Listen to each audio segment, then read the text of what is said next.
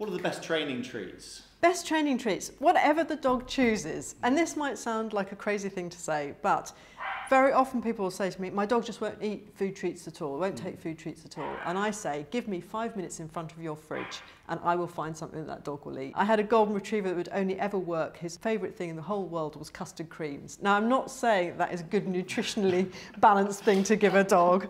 Um, and it would be an incredibly rare time that I would bribe him with a tiny little bit of custard cream. Point is this, if the dog doesn't like it, it's not a treat. Mm. And I think a lot of people will try and use things like bits of dry kibble mm. in training. And honestly, I just see the dog's face saying, are you kidding me? Mm. You know, absolutely not.